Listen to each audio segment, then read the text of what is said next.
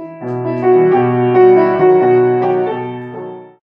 ce temps-là, Jésus partit en avant pour monter à Jérusalem.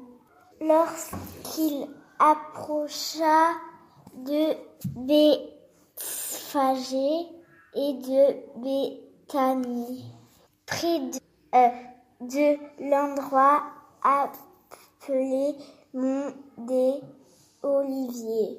Il envoya deux de ses disciples en disant Allez à ce village d'en face.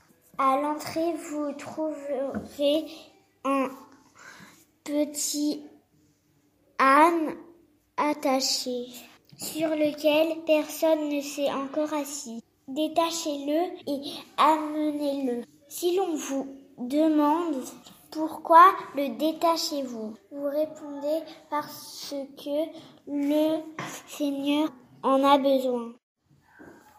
Les envoyés partirent et trouvèrent tout comme Jésus leur avait dit.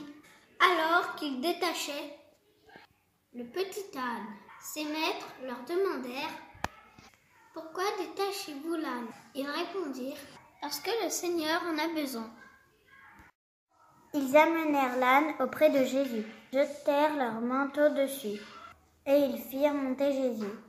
À mesure que Jésus avançait, les gens étendaient leurs manteaux sur le chemin, alors que Jésus approchait de la descente du mont des Oliviers. Toute la foule des disciples, remplis de joie, se mit à louer Dieu à pleine voix pour tous les miracles qu'il avait vus. Et il disait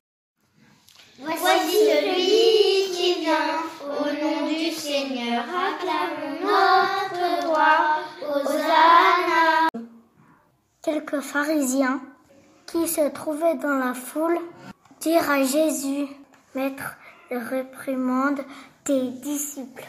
Mais il prit la parole en disant, Je vous le dis, si eux se taisent, les pierres crieront.